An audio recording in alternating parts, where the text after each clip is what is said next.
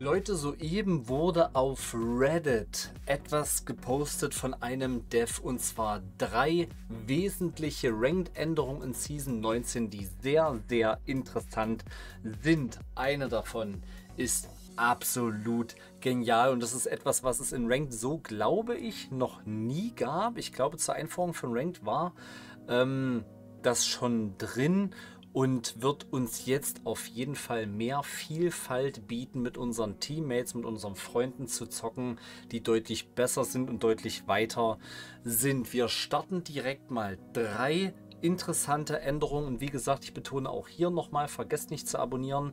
Äh, zum, zum Start von Season 19 gibt es wieder Coins zu gewinnen. 1000, 6700 und 11.500 und freut euch schon mal auf nächste Woche. Da gibt es ein bisschen was sehr, sehr Interessantes zu Apex Legends. Ich kann aber leider noch nicht viel mehr verraten. Freut euch auf jeden Fall, es wird sehr, sehr interessant. Wir starten jetzt mit den Ranked Änderungen. Wir sollen im Allgemeinen mehr Boni bekommen, die uns vorenthalten waren, die im Hintergrund wohl im Spiel zurückgehalten wurden. Ich habe jetzt hier nur eine Kurzbeschreibung, die nicht sehr aussagekräftig ist. Ich habe hier einen ellenlangen Text gelesen, spare ich mir für dieses Video es reicht, wenn ihr wisst, dass wir auf jeden Fall jetzt mehr Boni bekommen sollen.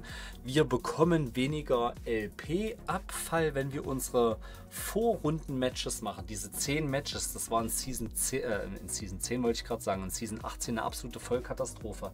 Ich kenne viele relativ gute Spieler oder mittelmäßige Spieler, die es gerade so auf Bronze geschafft haben nach den 10 Vorrunden-Matches oder teilweise auf Rookie geblieben sind. Und das musst du dir mal vorstellen. Das Matchmaking war so heftig, dass du die ersten zwei, drei Wochen auf, auch auf Rookie und Bronze, auf die krassesten Spieler gefühlt gestoßen bist. Und das soll jetzt entf entf es entfällt nicht, aber es soll wohl so sein, also dass du jetzt nicht auf die krassesten Spieler triffst, das sollte natürlich entfallen, das sollte klar sein, ich muss erst mal die richtigen Worte finden. Es soll aber wohl so sein, dass es deutlich einfacher zu sein scheint nach den 10 Runden, dass du ungefähr dort landest nach den 10 Runden, wo du eigentlich zurückgerankt wärst, laut altem System.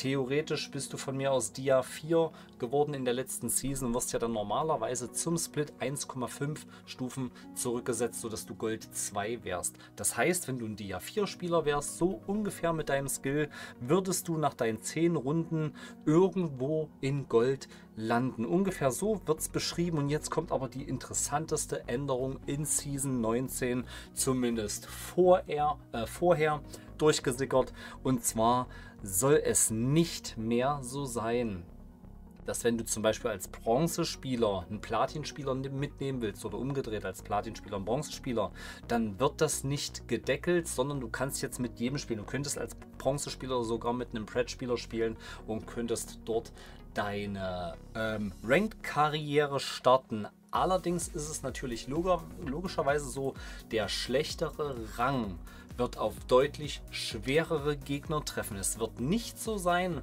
dass da eben auch ein Mittelwert gebildet wird. Das ist ungefähr so, wie sie es gerade in der Modern Warfare 3 Beta probiert haben. Die haben irgend so einen Neffen-Account, wie man das so schön sagt. Einen absoluten Noob-Account einfach mit eingeladen. Der wurde einfach still liegen gelassen. Mit dem hast du nicht gespielt, sodass das Matchmaking ausgetrickst wurde.